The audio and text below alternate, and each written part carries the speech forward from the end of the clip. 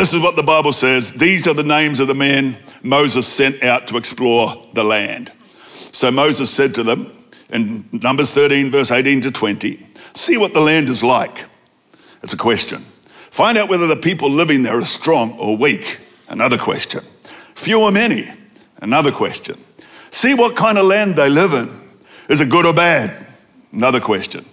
Do their towns have walls or are they unprotected like open camps? Another question. Is the soil fertile or poor? Another question. Are there many trees? Do your best to come back, bring samples of the crops you see.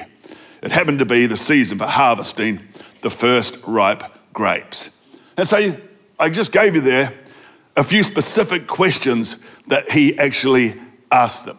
I want to go through those questions, talking about risk and leadership and capacity, and think about where you would have fitted when it comes to all of these questions. The first question is, What's the land like?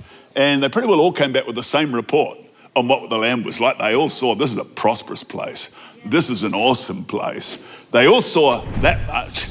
Uh, it's kind of like seeing your long term future, and it looks like an awesome place. It looks like a fantastic place.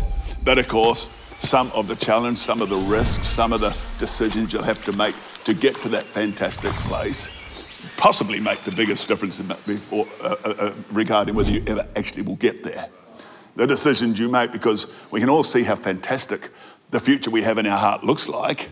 We can see that. But it's just like most things in life, and just like it was for Joshua when he actually went into the land.